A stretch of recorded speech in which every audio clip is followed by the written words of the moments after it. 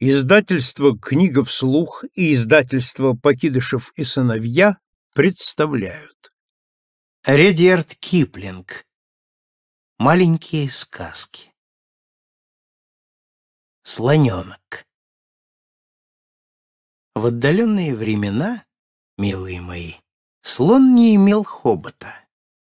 У него был только черноватый толстый нос, величиной с сапог, который качался из стороны в сторону, и поднимать им слон ничего не мог. Но появился на свете один слон, даже не слон, а совсем еще слоненок, который отличался неугомонным характером и неутолимым любопытством. Слоненок, который поминутно задавал какие-нибудь вопросы. Жил он в далекой Африке и всю Африку одолевал своим любопытством. Он спрашивал своего высокого дядю Страуса, отчего у него перья растут на хвосте. Высокий дядя Страус за это бил его своей твердой-притвердой лапой. Он спрашивал свою высокую тетю Жирафу, отчего у нее вся шкура пятнистая.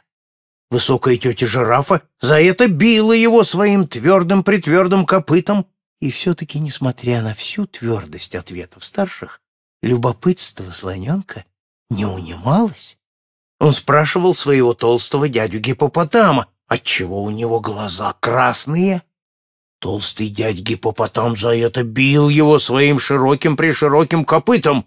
Он спрашивал своего волосатого дядю Павиана, отчего дыни имеют именно такой, а не иной вкус. Волосатый дядя Павиан за это бил его своей мохнатой-примохнатой рукой и все-таки любопытство его не унималось.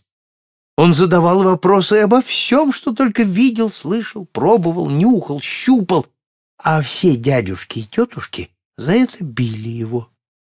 И все-таки любопытство слоненка не унималось. В одно прекрасное весеннее утро неугомонный слоненок задал взрослым новый странный вопрос. Он спросил, «А что?» Что у крокодила бывает на обед. Все громко закричали «Ш!» и принялись долго безостановочно бить его. Когда, наконец, его оставили в покое, слоненок увидел птицу Колу-Колу, сидевшую на кусте терновника, и сказал, «Отец бил меня, мать била меня, дядюшки и тетушки били меня, за мое неутолимое любопытство. А я все-таки хочу знать, что у крокодила бывает на обед. Птица Колу-Колу мрачно каркнула ему в ответ. Ступай на берег большой серо-зеленой мутной реки Лимпопо, где растут молодые побеги зеленого тростника, и сам посмотри.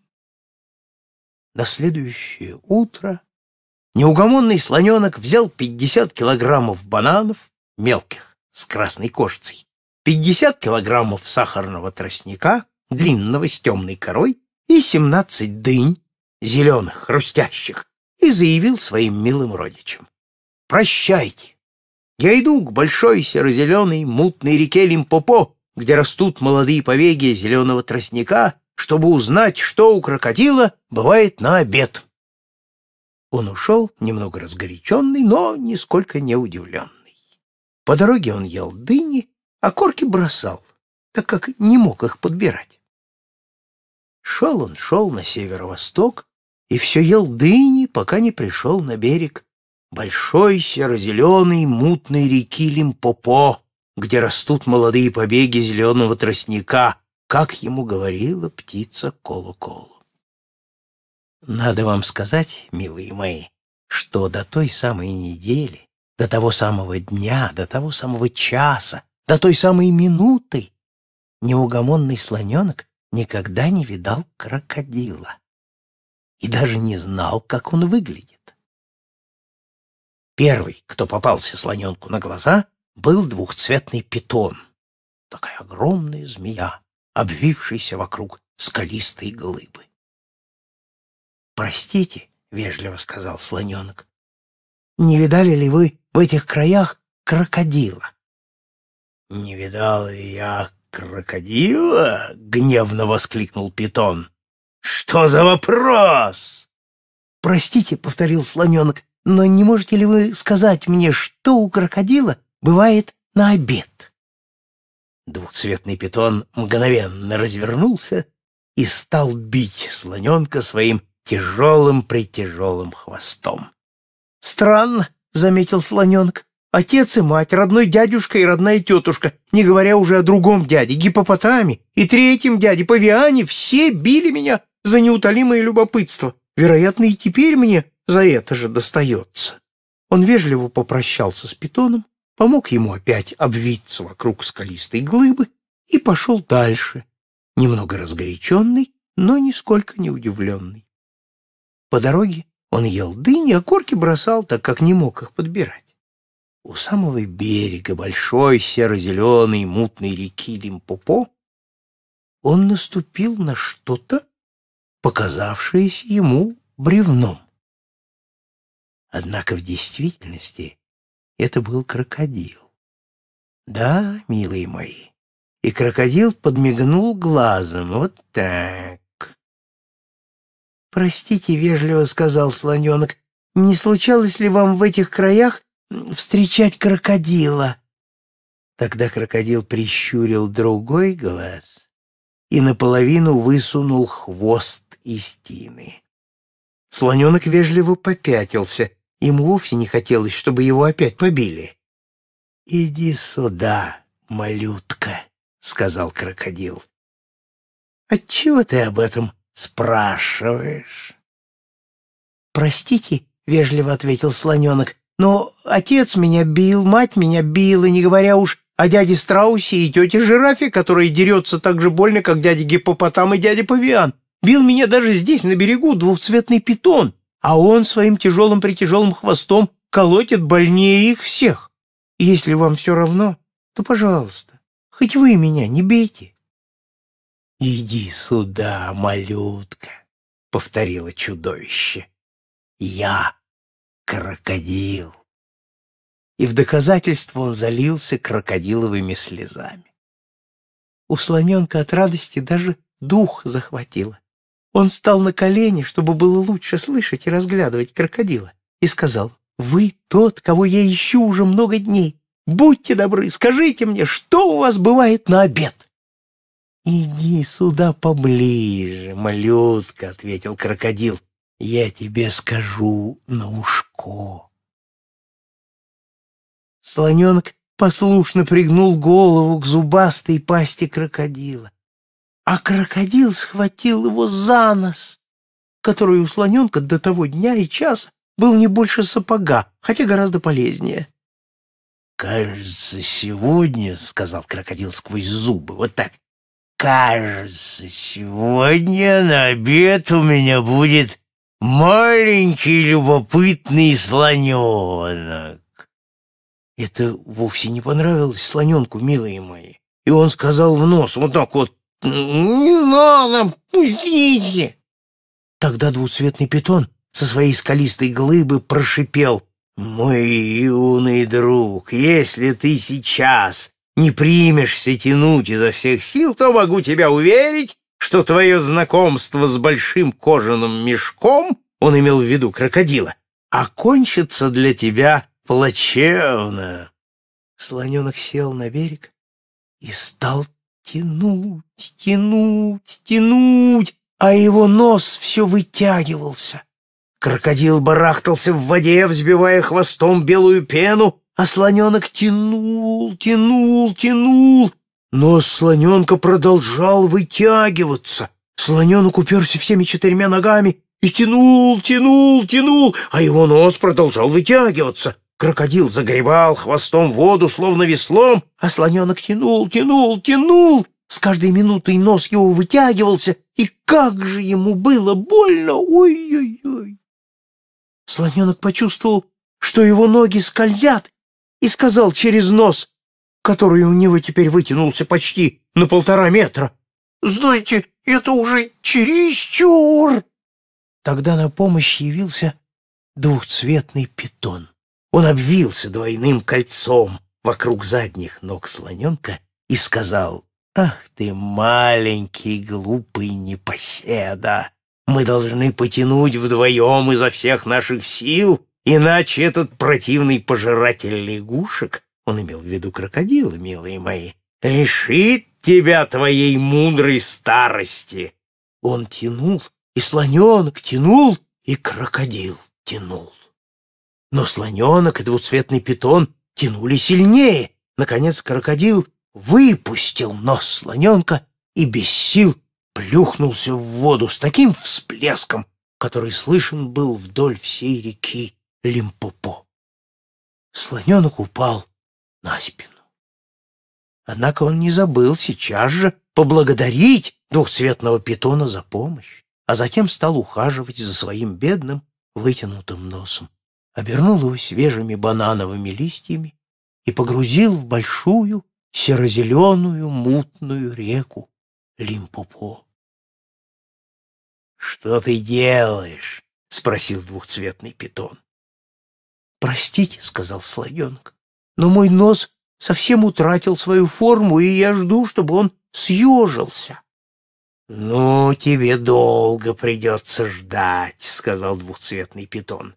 «Удивительно, как иные не видят порой собственной выгоды».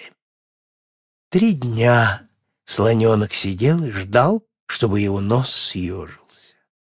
А нос нисколько не укорачивался. Вы понимаете, милый мой, что крокодил вытянул ему настоящий хобот, такой, какой теперь бывает у слонов. Под конец третьего дня какая-то муха укусила слоненка в плечо. Не задумываясь, слоненок поднял хобот и прихлопнул муху. «Преимущество первое», — заявил двухцветный питон. «Этого ты не мог бы сделать простым носом. Ну, теперь покушай немного». Сам не отдавая себе отчета, слоненок протянул хобот, выдернул огромный пучок травы и отправил к себе в рот.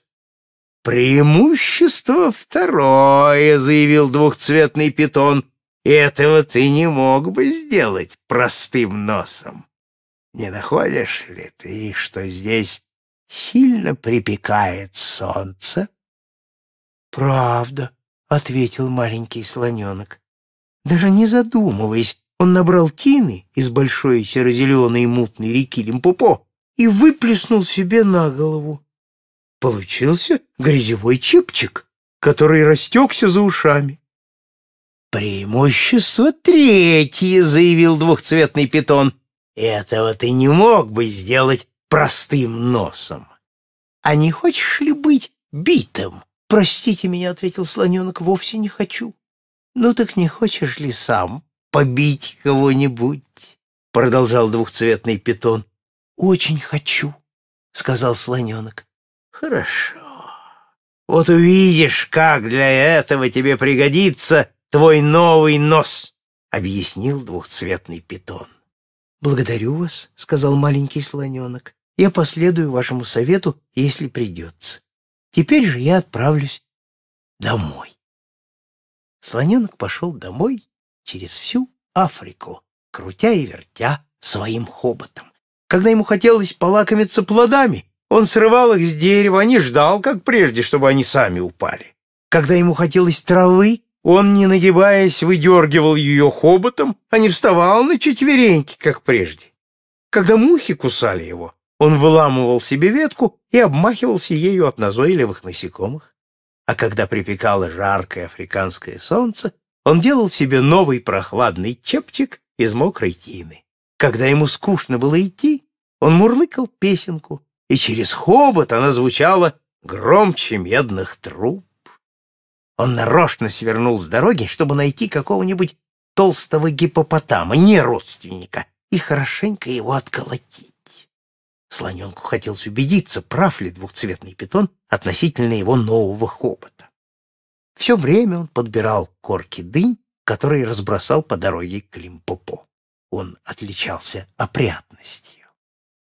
В один темный вечер он вернулся к своим и, держа хобот кольцом, сказал «Здравствуйте! Ему очень обрадовались и ответили, иди-ка сюда, мы тебя побьем за неугомонное любопытство. «Ба!» — сказал слоненок. «Вы вовсе не умеете бить. Зато посмотрите, как я дерусь!» Он развернул хобот и так ударил двух своих братьев, что они покатились кувырком. «Ой-ой-ой-ой-ой!» — воскликнули они. «Где ты научился таким штукам? Постой, что у тебя на носу?»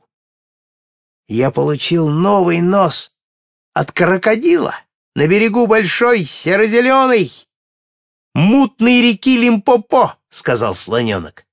Я спросил, что у него бывает на обед, а он мне дал вот это. «Некрасиво», — сказал волосатый дядя Павиан. «Правда», — ответил слоненок, — «зато очень удобно». С этими словами он схватил своего волосатого дядю Павиана за мохнатую руку и сунул его в пчелиный улей.